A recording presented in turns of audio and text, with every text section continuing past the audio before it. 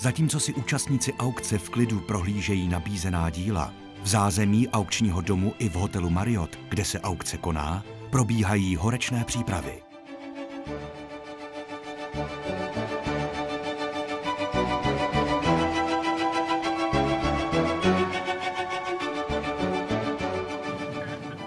Dorotou Praha Šimonová u telefonu Dobré odpoledne.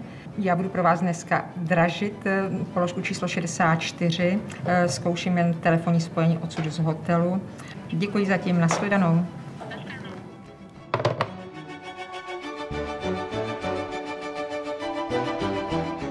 Ti, kteří mají zájem opravdu se přijít podívat na tu aukci a účastnit se aukce, tak přicházejí zhruba hodinu předtím, mají možnost se už registrovat a pak spouštíme začátek aukce a, a všechno už jde do finále.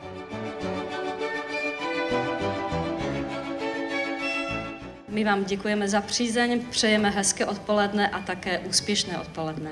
Aukční maraton byl právě odstartován. 60 tisíc telefon, 60 tisíc, 65 tisíc sál, 80 tisíc korun nabídka na telefonu, 85 tisíc pán vzadu v sále, takže 85 tisíc poprvé, 85 tisíc po druhé a 85 tisíc po třetí pro číslo 134. Děkuji.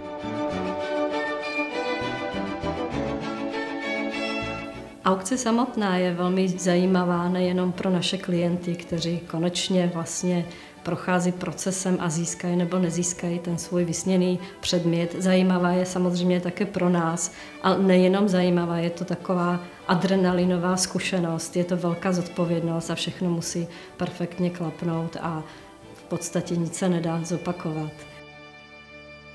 V naší březnové aukci nabízíme eh, několik, několik významných obrazů, eh, významných českých výtvarníků. Eh, osobně doufám, že se nám podaří najít kupce pro filovo zátiží z roku 1928, protože si myslím, že vzhledem k jeho tvorbě v tom, z tohoto období se jedná určitě o jedna z těch velice zdařilých zátiší. Je to krásný obraz v původní adjustaci a, a autentická práce. Takže doufám, že při tom zájmu, který je o ta velká jména, eh, získáme nového majitele pro tento filův obraz, ale samozřejmě není to jenom o těch drahých milionových položkách, eh, což spousta diváků jistě dobře ví, že i vlastně obrazy, které se pohybují v řádech desítek nebo tisíců korun, jsou hojně vyhledávanými artefakty. Takže já třeba, pokud mám říct nějakého svého favorita, doufám, že se nám podaří úspěšně zobchodovat eh, drobnou plenérovou studii od Julia Mařáka, což je slavný český krajinář 19. století, kde doufám, že ta vyvolávací cena eh, ještě nějakým zajímavým způsobem nastoupá, protože podobné eh, autentické práce se na trhu objeví velice málo. 141 Mařák Julius, lesní interiér, vyvolávací cena 150 tisíc korun. Tak máme nabídku v sále, děkujeme 200 tisíc korun, v sále máme 220, děkuji. 140 against you. Can I offer 150,000 crowns? Ich habe 140. Okay. 150. Jdete na 280, 280 tisíc. Takže 300 tisíc korun, děkuji, nabídka na telefonu, 300 tisíc poprvé, 300 tisíc po druhé a 300 tisíc po třetí pro číslo 736. Děkuji. Dalším velkým favoritem dražby byl také obraz Tři larvy Františka Muziky. Katalogové číslo 93. Muzika František, larvy 1, vyvolávací cena 380 tisíc korun. 400 tisíc korun nabídka v sále, 450 tisíc korun, 500 tisíc korun máme v sále, 500 tisíc, nabídka v sále, přidá se z telefonu 550, 550 tisíc, číslo 743. 600 tisíc máme v sále, nabídku 600 tisíc, 700 tisíc sál, 700 tisíc, jeden telefon váha, 850 tisíc, 850 tisíc poprvé, 850 tisíc po druhé a 850 tisíc po třetí pro limit 743. Děkuji. Vydražení obrazu Tři larvy potvrdilo fenomenální úspěch speciální zářijové aukce Dorotea, kdy se 12 obrazů Františka muziky pocházejících ze soukromé německé sbírky vydražilo za souhrnou částku 28 milionů korun z původní vyvolávací ceny 7 milionů korun tak o investicích do umění se samozřejmě v poslední době eh, hovoří velice často. někdy od roku 2006, kdy došlo k takovému, řekněme, boomu toho českého trhu s uměním, kdy se konečně začaly pravidelně nabízet a prodávat opravdu ty drahé milionové obrazy, eh, tak to téma investice do umění je velice eh, populární eh, a vlastně velice aktuální. Samozřejmě my se snažíme našim zákazníkům, těm, nejen těm, kteří prodávají, ale těm, kteří kupují, snažíme se jim být rád si ukázat jim na to, co vlastně třeba i v té současné situaci, co má smysl, kde se ty cenové relace pohybují třeba zrovna na nějakém Eh, vrcholu té, té módní vlny, kde samozřejmě lze očekávat, že ta vlna časem opadne a ty cenové relace se budou dostávat trošku níž. Eh, takže samozřejmě u otázky investice do umění eh, je potřeba se tomu tématu trošku hlouběji věnovat, než se člověk rozhodne. Stejně jako když si budete koupit auto nebo byt, tak taky budete nejdřív zjišťovat, co si jdete koupit. Co se týče jakýchsi vodítek pro kupující, my se snažíme, aby při pohledu do katalogu vlastně dostali nějaké základní povědomí o hodnotě toho díla. Proto kromě vyvolávací ceny uvádíme také odhadní cenu, což je z našeho pohledu cena, která by měla odpovídat současným eh, cenovým relacím na trhu. Samozřejmě ne vždy se ty díla prodají za odhadní cenu, někdy se prodají lehce pod ní, někdy se prodají za cenu vyvolávací a někdy, a to jsme nejradši, když se prodají vysoko nad tím naším odhadem eh, a to bývají samozřejmě nejradši prodávající.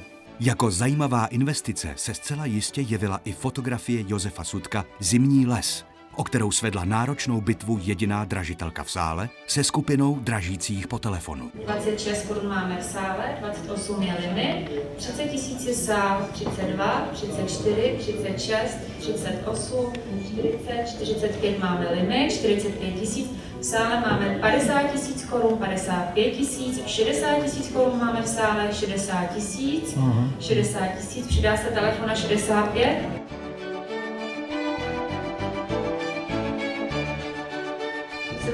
75 tisíc telefon, 75, 80 tisíc korun máme v sále, 220 tisíc korun nabídka na telefonu, 280 tisíc korun poprvé, 280 tisíc korun po druhé a 280 tisíc po třetí pro číslo 110.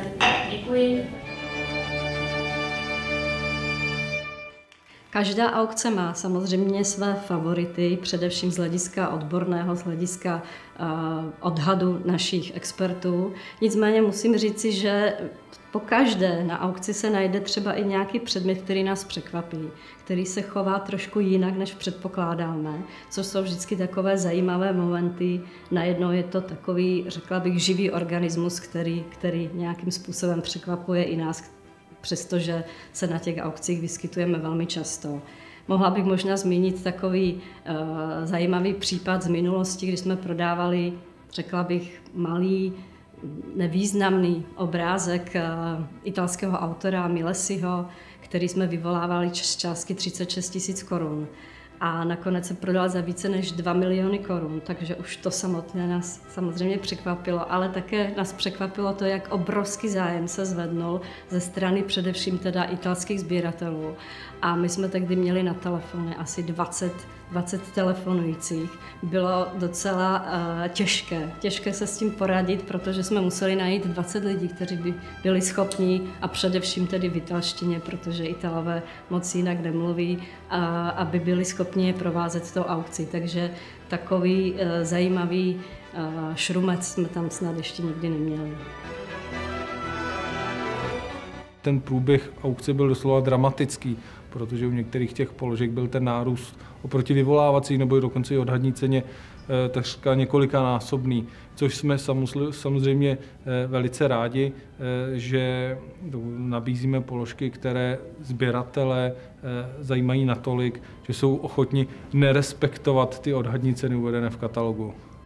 Jsme hrozně rádi, že se velmi dobře zase prodal olej a Františka muziky, to znamená, že navazuje na, na náš eh, trend, který jsme započali v loňském roce eh, po velké výstavě eh, tohoto autora a také jsme velmi rádi, že se strhnul opravdu velký, velký souboj mezi sběrateli z celého světa o naše položky fotografické, především teda fotografie Miroslava Tichého, ale také především té naše klasické české fotografické školy, to znamená Františka Drtikola a Josefa Sudka a dokonce ta jedna fotografie od Josefa Sudka se prodala jako nejdražší položka tohoto autora.